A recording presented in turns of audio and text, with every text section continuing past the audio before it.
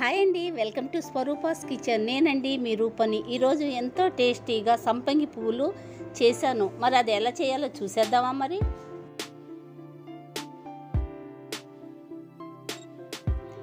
ఈ కప్పుతో నేను గోధుమ పిండి రెండు కప్పులు తీసుకుంటున్నాను.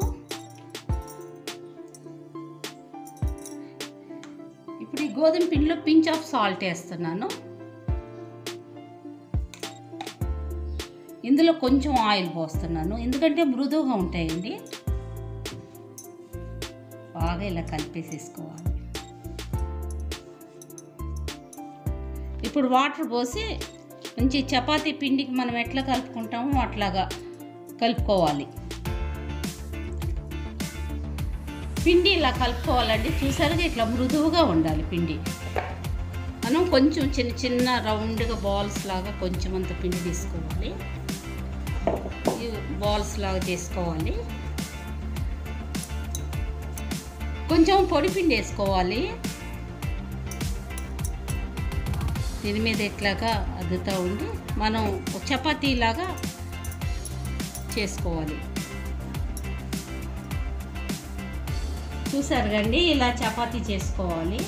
మనం ఈ పిజ్జా కట్టర్తో దీన్ని ఇట్లా స్లైసెస్ లాగా ఇట్లా కట్ చేసుకుంటున్నాం.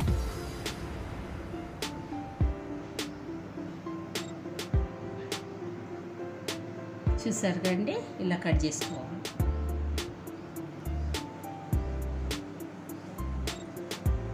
ఇప్పుడు మనం దీన్ని ఇట్లా ఒక్కొక్కటి ఇలాగా మడతేసుకుంటా.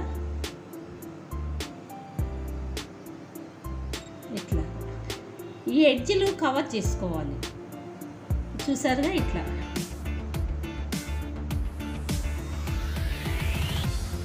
అన్నీ ఇలాగనే సంథింగ్ పూలు ఇలానే చేసేసుకోవాలండి. చూసారుగా? ఇప్పుడు ఎడ్జిలు ఉన్నాయి కదండి ఇట్లా తీసేసుకోవాలి.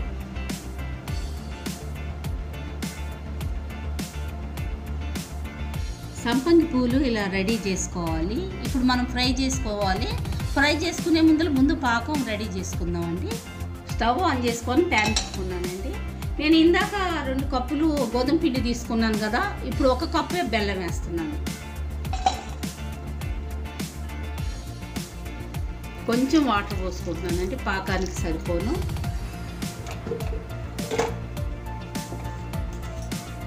ఈ పాకం వచ్చే వరకు ఇంతలో మనం అవి ఫ్రై చేసుకుందాం. సంపంగి పువ్వులు ఫ్రై చేసుకుందాం. ఈ పాకం రెడీ అయ్యేసరికి. స్టవ్ వెలిగించి కళాయి పెట్టానండి. ఇప్పుడు మనం ఈ ఫ్రై చేసుకోవడానికి ఆయిల్ పోసుకుంటున్నాను. ముందు కాగిందండి ఇప్పుడు సంపంగి పువ్వులు రెడీ చేసుకున్నాము అవి ఒక్కొక్కటి ఇట్లా ఫ్రై చేసుకుందాం.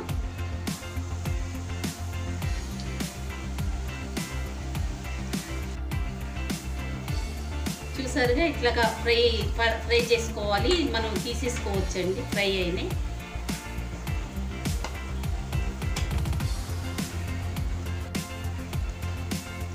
చూసారుగా ఇట్లాగా ఫ్రై ఫ్రై చేసుకోవాలి. మనం తీసేసుకోవచ్చండి ఫ్రై అయినాయి. ఇక అన్నీ వేసేసుకోవాలండి చూసారుగా?